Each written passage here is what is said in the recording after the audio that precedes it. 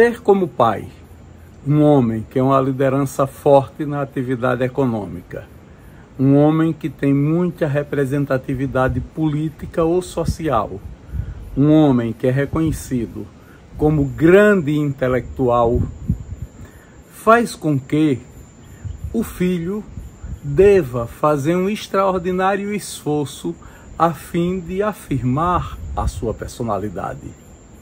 E ao afirmá-la, não embotar a presença do pai ou também não ficar sempre sob o seu guarda-chuva. Este é um dilema daqueles homens cujos pais exercem muita força como líderes. É deste tema que trata no vídeo que vamos assistir agora o jornalista Luiz Eduardo Oliva, filho do jornalista João Oliva, reconhecido como intelectual, como poeta, como escritor, como jornalista, como advogado. Luiz Eduardo Oliva seguiu os mesmos passos do seu pai. Luiz Eduardo Oliva lutou para preservar a memória do pai, João Oliva Alves, por quem ele tem uma admiração extraordinária, mas também lutou para ser Luiz Eduardo Oliva, jornalista, advogado, intelectual, escritor, poeta, e afirmar como afirmou o seu nome como uma grande liderança da vida cultural em Sergipe. Vamos acompanhar o depoimento memorialístico do jornalista Luiz Eduardo Oliva. É, eu tive um enorme privilégio, eu acho que é privilégio, de ter nascido filho de um jornalista. Naturalmente, todos nós temos o privilégio de sermos filhos de nossos pais.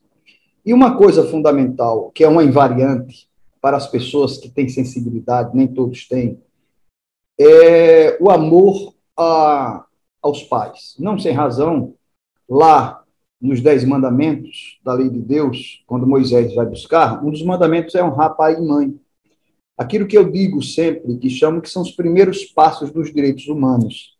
E os direitos humanos, eles têm, talvez, nos Dez Mandamentos, um dos primeiros momentos de compreensão de coisas que são universais dos seres humanos. Tanto é verdade que toda vez que há uma, um crime de um pai que mata um filho, um filho que mata um pai, veja Cristo, é, é, como é que é aquela Cristina Ramboff, sei lá, aquela menina é, que eu esqueço o nome dela agora, veja agora o caso da mãe do, do, do, do, do menino que o, o doutor Jarinho matou.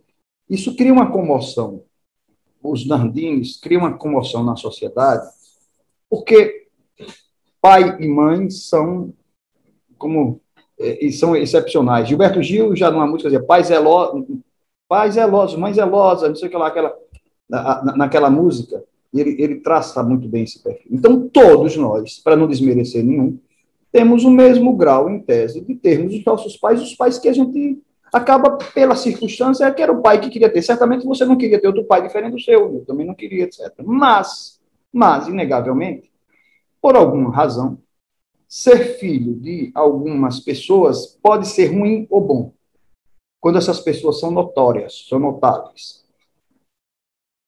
Pegue, por exemplo, é, minha amiga, que eu conversei com ela essa semana, assistindo uma live dela, é Paloma, Paloma Jorge Amado. Paloma do Arcão, Paloma Amado. Paloma Jorge Amado. Paloma dificilmente será somente Paloma. Paloma será sempre a filha de Jorge Amado. Isso é muito bom do ponto de vista do legado que ela tem, a filha de Jorge e de Zélia.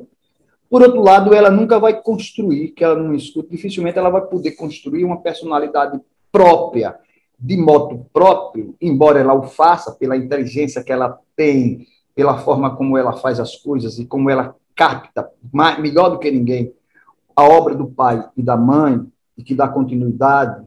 Isso é muito bom para a memória de Jorge, sobretudo, e de Zélia, mas ela é, é, é, é são os dois lados. E eu trago para mim, eu tenho dois lados meio parecidos. Um, que é o lado bom de ser filho de um homem que deixou um grande legado para Sergipe, ainda agora o Salmeirão escreveu uma, não sei se você leu um artigo sobre meu pai, inegavelmente ele, ele não é exagerado por dizer daquele que é, inegavelmente, se você for escrever a história do jornalismo sergipano daqui a 100 anos, certamente você não pode deixar de ter o nome de João Oliva ou de Orlando Dantas, né? Talvez, sob alguns aspectos, do ponto de vista panorâmico, talvez os dois maiores, não sei, eu exagero, talvez esteja sendo em relação ao meu pai, mas inegavelmente Orlando Dantas será sempre considerado o, o grande jornalista de Sergipe, e nessa esteira, pelo, porque talvez fosse até sob um aspecto muito facetado, mais, mais intelectual do que Orlando, embora Orlando não deixasse de ser intelectual. Mas não era poeta, não, não tinha aquelas coisas. Então, o Vejam Oliva trazia isso. E eu nasci ao som de uma máquina datilográfica.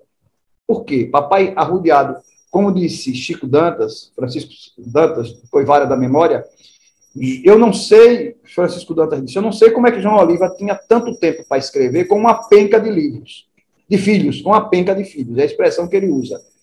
E quem está falando é o maior, o maior romancista do Brasil. O Anselmo Góes, quando ligado, falaria sobre João Oliva, ele aí disse, é um dos maiores intelectuais que eu conheci. Ora, como é que o homem que, que conviveu com Vinícius de Moraes, com José eh, Fernando Cereço, Zeni Ventura, e com Carlos Heitor Condi, com os maiores intelectuais brasileiros, inclui no rol de sopetão, imediato, João Oliva Alves. Então, ser filho de João Oliva tem esse karma de carregar a ideia de ser filho de João Oliva. E eu luto muito para ser também sem desmerecer o filho de João Oliva, para ser também Luiz Eduardo Oliva de moto próprio. E ao, e ao me destacar também, no que eu puder, eu estou também é, é, é, homenageando a própria história do meu pai, que buscou construir nos filhos uma continuidade nos filhos e nos netos. O Felipe está passando ali agora, estou lembrando, papai o Felipe teve a oportunidade de, de, de, ter sido o neto que mais conviveu com o papai nos últimos tempos, porque ele foi virou uma espécie de secretário do papai. Então, é, é, é, essa coisa era fundamental. Então, eu nasci sobre essa ética.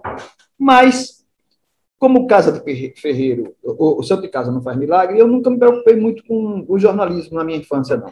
Era aquela coisa de casa. Ele, ele vivia dentro de casa, por, ele ia trabalhar no dia a dia, quando chegava de noite, ele tinha que, que é, completar o salário para criar a penca de filhos. Então, ele varava as madrugadas fazendo editoriais, fazendo. Ele fazia ao mesmo tempo os editoriais, ainda que eu me lembro, o editorial do, do, do jornal do Diário de Aracaju. Ele fazia em casa, eu era quem muitas vezes ia levar. O Pingo de Fogo diariamente na Rádio Cultura. O Nossa Opinião, ele escrevia, fora as assessorias que ele dava para a associação comercial, para não sei o quê. Então, meu pai era 24 horas jornalista. Ele saía para trabalhar, cumpria o horário de trabalho dele, quando voltava para casa, ele não tinha nem o lazer, ele se dedicava a isso. E comprava livros. E arrodeou a gente de livros. Então, tudo isso proporcionou o. É, proporcionou a mim é, é, é esse mundo.